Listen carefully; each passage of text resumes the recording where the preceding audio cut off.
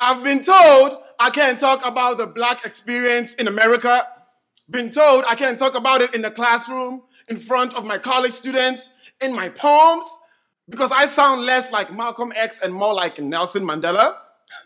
Like this one time, after performing the blackest poem I have ever written, this white girl walks up to me and says, But wait, do you see yourself as an African or an African American? Because I feel like you're more of an pause. First of all, you don't get to feel.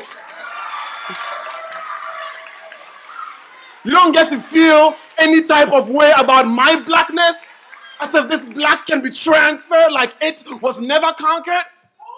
I've been told I can't talk about the black experience in America because I sound more like T'Challa and less like Killmonger. Like after performing another black poem, this black boy walks up to me and says, Your type of black is not fit enough to talk about our trauma. You know nothing about chains, whips, or bullets. So while basking in my rage and in need of some motherfucking answers, I decided that I would take the slave ship all the way back to 1332.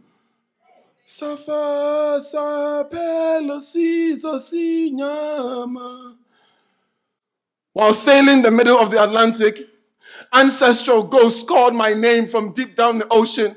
I felt their spirits pull me into the circle to cast a protection spell just so I could make it safe to the West African coast when I arrived.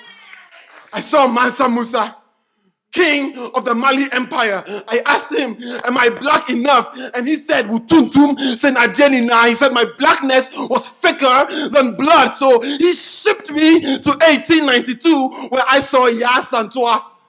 Queen Mother of Ejisu in the Ashanti Empire, who led the war of the Golden Stool against British colonialism. I asked her, Am I black enough? And she said, Bemena.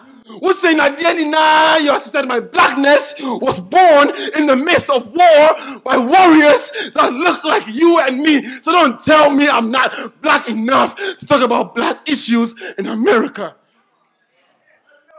When the drunk white girl called me a nigger in college, she did not go to ancestry.com to fact check if my grandmother's grandmother was a slave. When West African immigrants, Amadou Diallo was shot and killed 41 times by New York police, they were shooting at his blackness, not his accent. This skin is prey for the dogs, regardless of which side of the park we got our training. And so in our blackness, I bind us. It is our ancestors' dying wish.